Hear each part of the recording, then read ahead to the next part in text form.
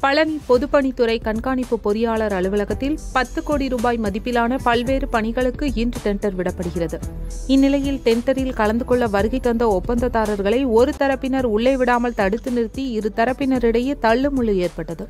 ஒப்பந்ததாரர்கள் கொண்டு வந்த டெண்டர் பைகளை ஒரு தரப்பினர் பிடுங்கிச் சென்றதால் ஒப்பந்ததாரர்கள் பழனியில் சாலை மறியல் பொதுப்பணித்துறை அலுவலகம் நுழைவாயிலை அடைத்து போலீசார் குவிப்பு.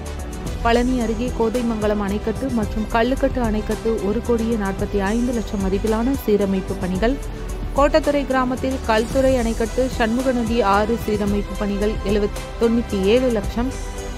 ஆத்தூர் தாலுகா நரசிம்மபுரம் அணைக்கட்டு ஷட்டர் பழுதுநீக்கம் மற்றும் கால்வாய் நவீனப்படுத்துதல் எழுபத்தி ஐந்து லட்சம் ரூபாய் உள்பட எட்டு பணிகளுக்கு மொத்தம் பதினோரு கோடியே பதினேழு லட்சம் ரூபாய் மதிப்பிலான ஏலம் விடப்படுகிறது. கடந்த மாதம் இருபத்தி ஏழாம் தேதி ஏலம் நடைபெறவிருந்த நிலையில் அப்போதும் இதேபோல் பிரச்சனை ஏற்பட்டு திமுகவினர் கார் கண்ணாடிகளை உடைத்து ரகளையில் ஈடுபட்டனர். அதைத் தொடர்ந்து ஏலம் ஒத்திவைக்கப்பட்டு இன்று மீண்டும் ஏலம் நடத்த அறிவிக்கப்பட்டுள்ள நிலையில் இன்று மாலை மூன்று மணி வரை டெண்டர் போட பொதுப்பணித்துறை அனுமதித்துள்ளது.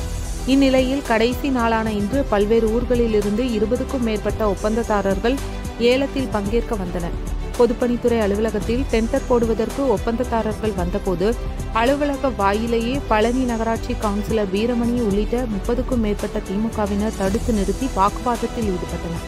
அப்போது ஒப்பந்ததாரர்கள் கையில் இருந்த டெண்டர் பைகளை கவுன்சிலர் வீரமணி பிடுங்கிச் சென்றதால் பரபரப்பு ஏற்பட்டது. போலீசார் முன்னிலையில் ஏற்பட்ட தள்ளுமுள்ளு போலீசார் கண்டும் கொள்ளாமல் அமைதியாக வேடிக்கை பார்த்ததை அடுத்து ஆவேசமடைந்த ஒப்பந்ததாரர்கள் பழனி திண்டுக்கல் சாலையில் திடீர் சாலை மறியலில் ஈடுபட்டனர். இதனால் போக்குவரத்து பாதிப்பு ஏற்பட்டதை அடுத்து அங்கு வந்த போலீசார் அவர்களிடம் பேச்சுவார்த்தை நடத்தி அப்போது ஒப்பந்ததாரர்கள் அனைவரும் டெண்டர் பொதுப்பணித்துறை அலுவலகத்திற்குள் அனுமதிக்குமாறு போலீசாரிடம் கேட்டபோது போலீசார் அனுமதிக்க மறுத்ததால் கடும் வாக்குவாதத்தில் ஈடுபட்டனர். தொடர்ந்து ஒப்பந்ததாரர்களை கலைந்து போகச் சொன்னதும் அவர்கள் மறுத்து பாதுகாப்பு தர வேண்டிய காவல்துறையினர் ஒரு தரப்பினருக்கு சாதகமாக நடந்து கொள்வதாக வாக்குவாதத்தில் ஈடுபட்டனர்.